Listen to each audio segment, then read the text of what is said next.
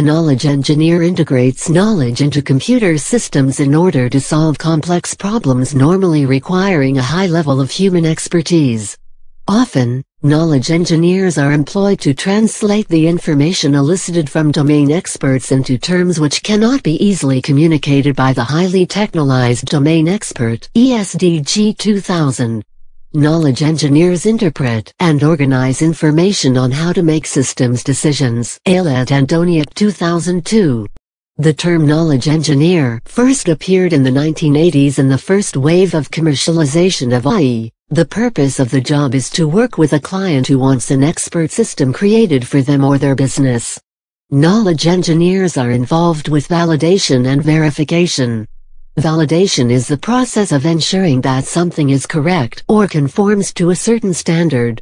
A knowledge engineer is required to carry out data collection and data entry, but they must use validation in order to ensure that the data they collect, and then enter into their systems, fall within the accepted boundaries of the application collecting the data.